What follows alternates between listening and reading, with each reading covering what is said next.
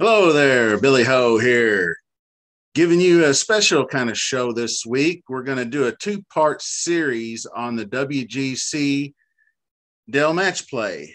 I split the content because there's so much to cover, and especially with just the format and everything, uh, people don't quite understand it unless you've been doing it a few years. And I want you guys that follow me and are in the Discord, I want you to build some good lineups because there's still going to be a percentage of people out there with dead lineups. And the most important strategy is the lineup construction. So we are going to get into that right now. All right, we'll start off with our main channel, Help Me Grow. Subscribe, give a like, share it, share it, share it get out there and hit me up and follow me on Twitter. And uh, we're going to start advertising that Discord here very, very soon. It's a lot of fun.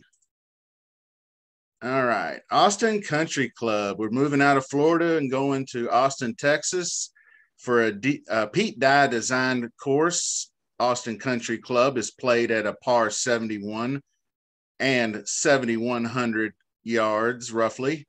It features overseeded Bermuda grass fairways and approximately 5,500 square feet on Bermuda grass greens overseeded with POA.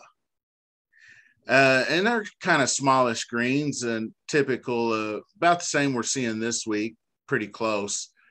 And uh, they'll run about 12 on the Stimpmeter, which is roughly mid medium fast and it's about at tour average really. I, I don't know unless the weather dictates that there's going to be uh you know hard, firmer faster you know uh, rain in the conditions and whatnot. So we'll have to see. All right the format. Groups are assembled by choosing players from four pools a b c and d the top 16 players in the world are Group A.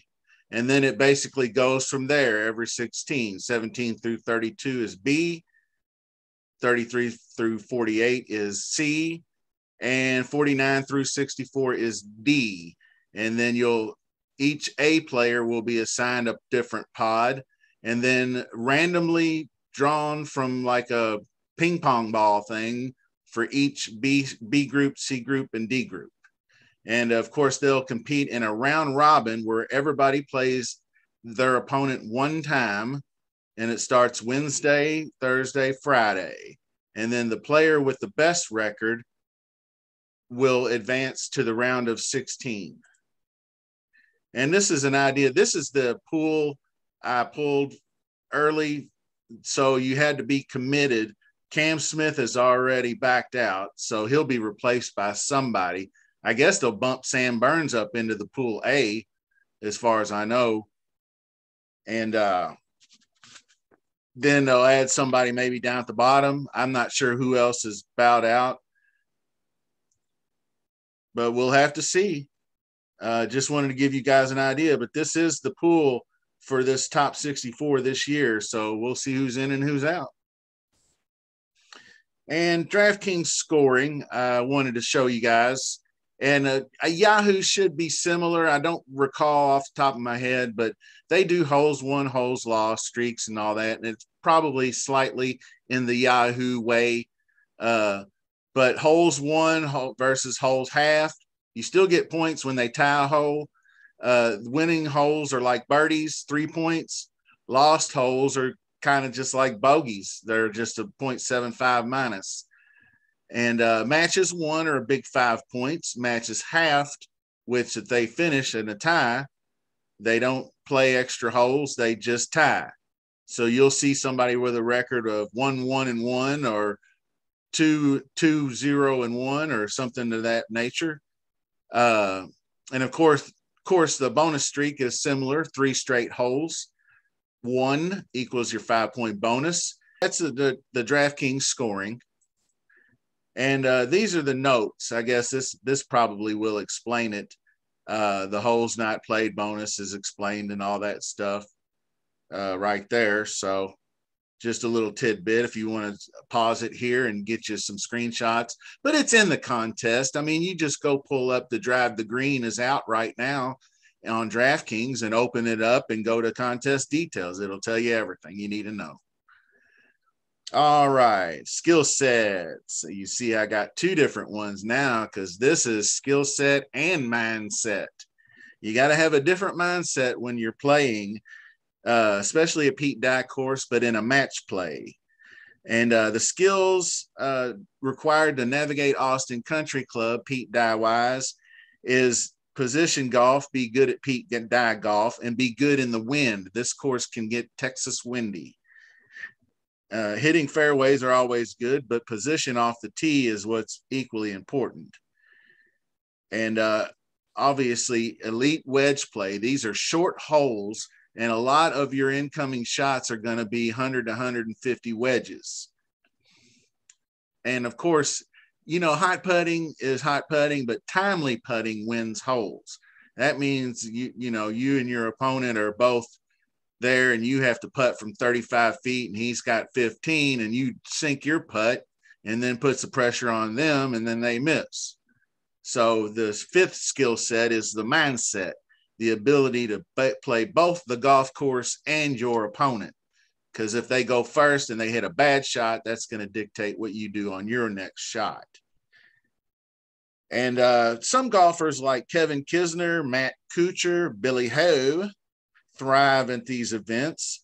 And uh, with the golf course, like I said, being so short, it has uh, five par fours under 400 yards and the three par fives are highly gettable, with one of those short par fours being drivable. Bombers, I don't think, really have any main advantage. Uh, the course's main defense is the wind. And I did take a quick early look at the uh, forecast since it does start Wednesday, and it looks quite breezy. We, we're, we're going to have some wind to contend with. So that'll make things more interesting. Okay. The as far as strategy goes, uh, this is your official world golf ranking uh, right here. And I went ahead and pulled over the pools just to give you guys an idea. The first thing you want to do when you're building these is get this bracket. This is last year's bracket, so pay no attention to the golfers. But once the golfers are seated, get this bracket. And then uh, your best approach is to work backwards. Separate your brackets into four quadrants, like I did here quad one, quad two, quad three, quad four.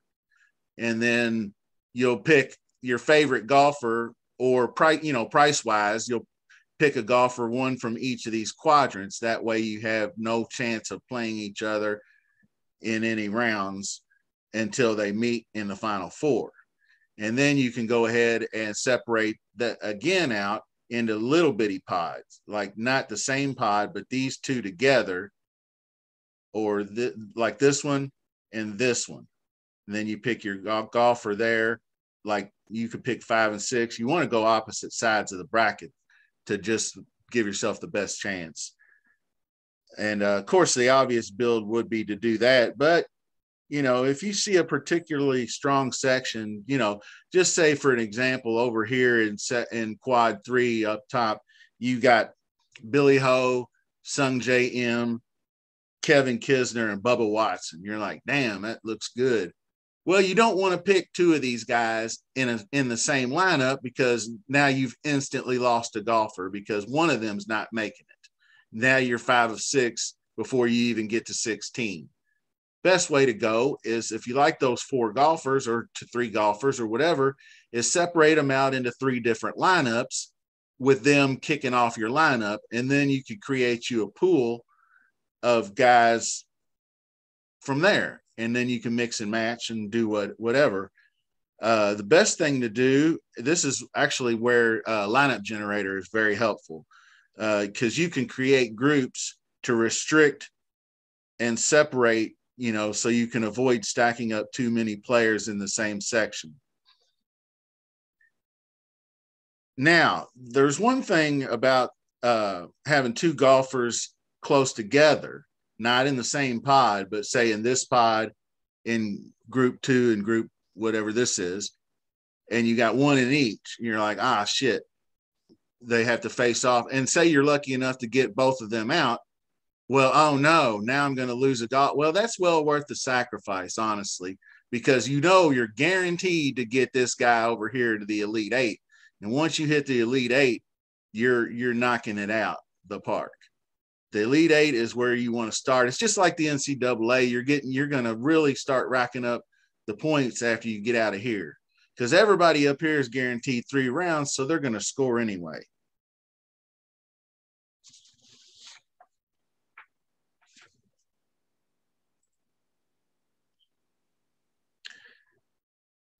All right. Well, I guess that'll do it.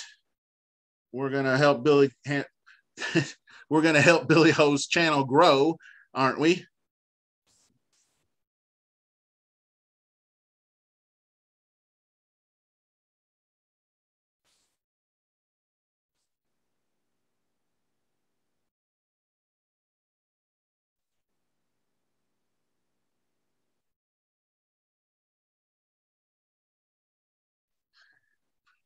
Well, that's going to wrap up part one of the uh, WGC Dell match play. Uh, hope you got uh, understood what I was trying to explain to you.